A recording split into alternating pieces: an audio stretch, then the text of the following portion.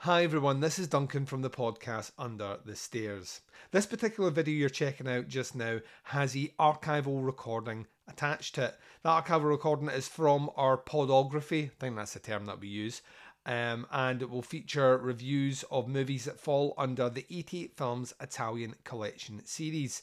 Now, the vast majority of reviews we've done over the last five years have been in audio format and published on our RSS feed for the podcast. We are transitioning over to give you access to all those reviews right here on YouTube under a playlist. Now, we're doing that because we're about to do our first video recording of a 88 Films Italian collection release, that being Tentacles. So, there's plenty of opportunity to delve into the back catalogue of the reviews here. And if you like, what you hear, then please hit subscribe on the channel, leave your comments below, and uh, check out the rich catalogue of over 1200 episodes we have on podcasts under the stairs on any podcatching device or Spotify that you use. So stick around, enjoy the episode, and I'll speak to you very soon.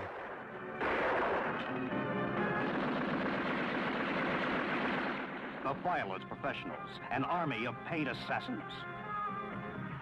The Violent Professionals takes you on a death-defying non-stop ride from the back alleys of the Mafia hideouts in a desperate dash for freedom. The Violent Professionals takes you to the top, to the king of crime. Time is getting ripe for us. People are finally beginning to get fed up with the power vacuum in this so-called democracy. You have 30 seconds to go. 30 seconds. Come on out with your hands in the air. For the hunted, there was no escape from the rogue cop. Your time's up. Turn killer. The Godfather gave you an offer. He gives you no alternative. Take the most terrifying, incredible, death-defying roller coaster ride ever shown on the screen. For those who would defy the law, there is no escape. The only way out is death. See The Violent Professionals, starring Richard Conte and Luc Merenda. The Violent Professionals. Nobody's death wish. And welcome back, ladies and gents. You've just heard the trailer for The Violent Professionals. This is disc number 66 in the Italian collection by 88 Films, and the website says thus Tough cop Giorgio, played by Luc Merenda of Torso, doesn't like to play by the rules, going as far as gunning down the ruthless criminal in broad daylight. After he's suspended from the force and his boss is murdered, he goes on a brutal undercover dive into the criminal underworld to expose a criminal organisation with no respect for authority. Starring Richard Conte of The Godfather with a powerhouse score by the great composers Guido and Maurizio De Angelis, who did Street Law and The Big Racket, this blistering Italian crime classic blazes on Blu ray with every car chase and gunshot more mind blowing than ever. Directed by cult filmmaker Sergio Martino, who did Hands of Steel in 2019 after the fall of New York.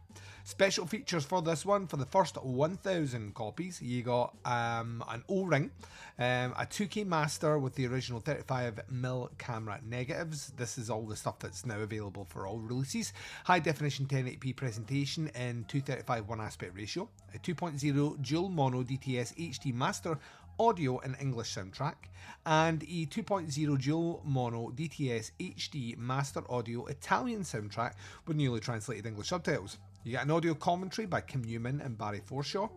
Out for Justice, an interview with actor Luc Merenda. Story of X, an interview with actress Martine Brochard. The Rules of Crime, an interview with writer Ernesto Gastaldi. Uh, a Violent Professional, an interview with director Sergio Martino. Luciano Rossi, a tribute by Kier Le Genis. English trailer, reversible sleeve. This is regional lock to region A, B, and C. The audio is DTS HDMI mono. Picture is 1080p HD 235 1. The runtime is an hour and 40 minutes. The languages are both English and Italian with English subtitles. So this was a first time watch for me. Um, if you've been listening to podcasts under the stairs for any length of time, you'll know I'm a big old fan of Sergio Martino. I don't necessarily think he is the best Italian director, but he is easily the most consistent Italian director. And that none of these movies are what I would call like top tier in any of the fields. He certainly has giallos or the kind of sci-fi rip-off stuff that are in talking for being near the top contention, but I don't think he necessarily like ruled the roost on any one genre. He's not like an Argento with giallo or a Fulci with zombies or anything like that. But what he was was just like a very, very, very safe pair of hands. Like you gave this guy a script, you gave this guy money, and you told him what to do, and he turned in a incredibly well directed film. And that's kind of what you get with the violent professionals. Um, this, to me, is not necessarily kind of top tier police attache. Um, if I'm honest, it's probably mid range. It's not a particularly long film by those standards. You know, an hour and 40 might feel a bit long to some people out there, but some of the police attache movies go well over that, up, you know, up towards the two hour mark. Mostly because some of those Dirty Harry movies went up that high as well, and that was just kind of seen as par for the course within the genre. Um, I think what it does well is it handles the violence very well. You get a lot of like emphasis put on how our cop is very happy to blur the lines of what is legal and illegal. And most of the time, as the audience, you're kind of with him. I mean, the opening gambit to this movie here has, you know, criminals escaping a like a high security train, uh, flagging down like an innocent father and his daughter, murdering the father, kidnapping the daughter before we assume murdering her as well, and then you get the after effect of him a police officer who asks more than once for the criminals to put their guns down, which they don't do, and he shoots them. But in this movie, he's held to task at that, and apparently it's not the first time he's kind of went across the line. He's done it in front of a reporter as well. Um, and then we kind of follow, like it said in the synopsis there, is kind of his foray into the underworld as he tries to take down uh, this kind of well-to-do, and when I say well-to-do, I mean actually they're well in doing what they're doing, criminal organisation who appear to have their fingers in all the pies and are actually making a gambit for kind of city domination. So he kind of takes his he takes it into his own hands, um, gets a little bit uber violent and tries to bring them down. Um, camera work in this is fucking stellar. I mean, like all the action sequences are vibrant, they're kinetic. It's got a pace and an energy, mostly because of the score. Um, not necessarily everything you're seeing on the screen is happening at this high octane pace, but the score constantly makes you feel like you're being propelled forward. So, I mean, that's, that's one of its strengths. And like I say, when you've got like a good score propelling you through, and you've got great cinematography, uh, great locations, which is like Martino's calling card, a lot of that's, you know, a lot that's going to work for, for you. I think our main kind of tough cop played by Luc Merenda. He's okay. I, I don't think he's like great in this, but I don't think he's terrible either. I think he always kind of he maybe suffers a little bit from smell the fart acting, as Joey Tribbiani from Friends would say. He's like a little bit too intense with this kind of smouldering look, where I'm like, you should be like fucking angry as fuck right now or sad or something but it's always this kind of stop because he's you know he's a dirty harry you know i mean? He's the he's the clint eastwood and clint eastwood can't really do any of those either so it's just kind of like a kind of snarl get off my lawn is is kind of what you get with him.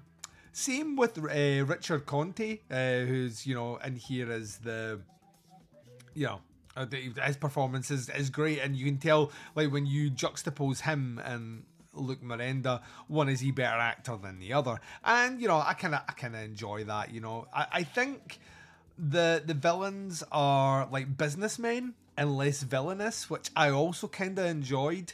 This idea, this criminal organization being so well put together that they actually feel like an organization that's going out their way to undermine. It's very comic book esque, actually. It's like you know very smart piece together organization that will dismantle the fabric of law and order within the, the, the city. I like those things. Um, I suppose the biggest issue is that it repeats a lot of the same beats. You're essentially, you know, you're following him taking down the organization one step at a time, which basically involves him doing the same thing over and over again. And that's where the runtime maybe doesn't benefit it. At an hour and 40, this felt like maybe a good 15 to 20 minutes too long. We could have had this done. And also, it kind of ends in a logical place, but I don't think it's merited for the character. I found that kind of actually a little bit cheap, the, the, the way they closed out the movie overall. After everything you've seen this guy go through, I just don't believe that's what he would do. So that kind of works a little bit against it. And then also, it's just not necessarily all that remarkable. Um, it kind of is. And you've also got to take you know, into account when the movie came out, but it is just a lot of things you've seen done in movies all around this time, and it's not necessarily bringing anything fresh or new or a bit of flair out with the Martino magic, which would necessarily make it all that different. Like I can imagine a year from now struggling to remember quite a lot of what happened in the Violent Professionals. Um, it just kind of it's just gonna morph into. So one of the, things I say at times about Martino's work and Giallo's, like when I'm watching them, I remember all the details in them, and then if you ask me a year later about specifically one Martino Giallo, and you start talking about a scene, I will probably struggle to pick which one it is that it's from. They all kind of just meld in to each other after a while. So yeah, not not a terrible movie, not an exceptional movie, a fun romp while I watched it. It's got some issues, but let's be honest. Uh, show me an Italian movie that doesn't, and I will say that probably wasn't directed by Sergio Martino. Um, the special feature. Well, let's talk about special features in general. This looks fucking mint.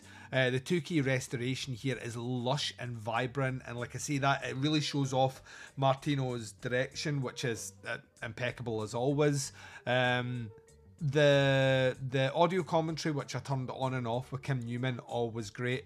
And actually I did check out all the interviews here. So you've got like four four or five interviews I think um, overall on the disc and all of them are great as well uh, it's really cool listening to Ernesto Gastaldi talk because he literally worked with everyone and he has a really interesting insight to just how he got involved with a writer on projects which wasn't always at the inception of a project sometimes kind of happened at towards the end you know go and save us, please, Ernesto. And he'd be like, all right then. Um, yeah, overall, I think the Violent Professionals gets a three. I like, I, I, I don't, I, I can't see myself rushing to this one again, but I didn't dislike it in any way. It just kind of felt a bit paint by numbers. Um, which was to be expected, if I'm honest. It's kind of where I thought I was going to land with this, and I was proved right in advance of, which is a smug feeling if you're someone like me. So yeah, three out of five for the Violent Professionals.